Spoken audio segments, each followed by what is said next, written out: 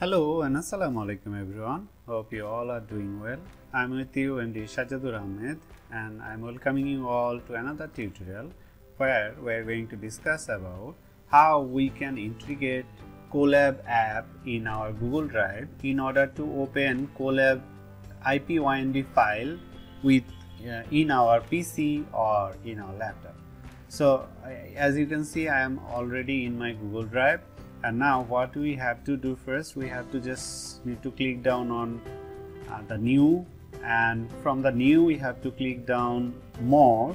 And if you just move your cursor to more you can see that there is a option which is called connect more app. So if we click on this it will take us to the google marketplace. And from the google marketplace we just need to search for Colaboratory so you can see it is the first option. So just select it. You can see it will appear. And then you just need to install it. And uh, it will take some permission. So when it is done you can see that a successful message is showing like collaborative has been installed. So now it is installed and uh, to confirm that it is installed you can see just click on more. And yes it is installed google collaborator. So now if you have any Colab file like IPYNB file you can directly can open by clicking the right option and open with collaborative.